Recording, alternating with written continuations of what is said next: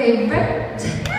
Um, you know, sometimes I think you find what you're looking for before you're ready to actually own up to the fact that it's what you want. Um, I think I found love a bunch of different ways, and um, timing is key, right? Right? It's important, and um, I don't think it's always selfish to uh, make plans for yourself that don't include someone else in order to have a full, beautiful life.